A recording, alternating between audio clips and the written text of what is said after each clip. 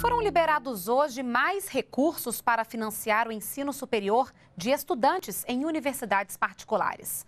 O repórter Paulo La Sálvia está no Palácio do Planalto e traz os detalhes para a gente. Boa noite, Paulo.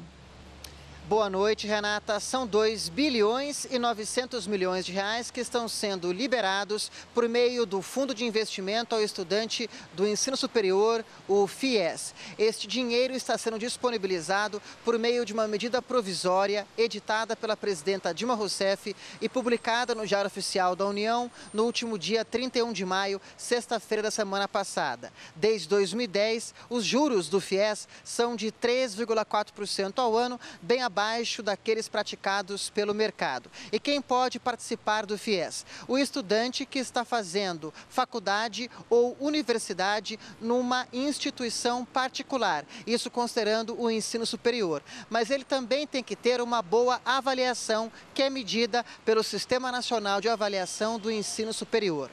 O passo a passo para o aluno interessado participar do FIES pode ser encontrado no endereço eletrônico do Ministério da Educação na rede mundial de computadores na internet, que é o www.mec.gov.br. Voltamos com você no estúdio, Renata. Obrigada, Paulo, pelas informações ao vivo.